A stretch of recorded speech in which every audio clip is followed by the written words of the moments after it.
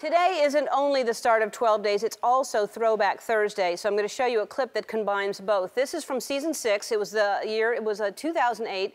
And uh, it's when teenagers could see Twilight at movies and Sarah Palin could see Russia from her house.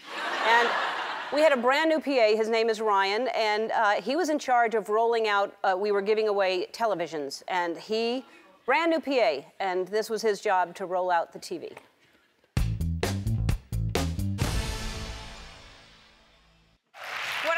Under this box we have never given away on this show before. This this is the most amazing thing that you've ever seen. What it is is it's got a power button. It's it's a it's a, it's got 10 numbers buttons on here, 1 through 10. It's got like a channel changing like up down. Volume. There's like a thing you can control volume and stuff like that. It's the most wonderful time of the year. With the kids jingle belling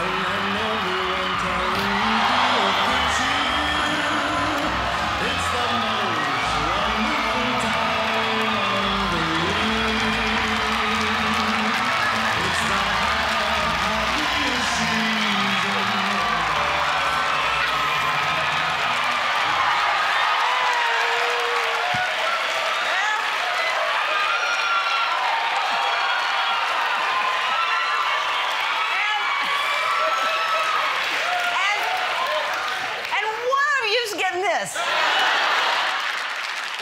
he still works here. Yeah. Uh, well, uh, he still works here, but the bad news is he's rolling your gifts out today. So let's hope for the best.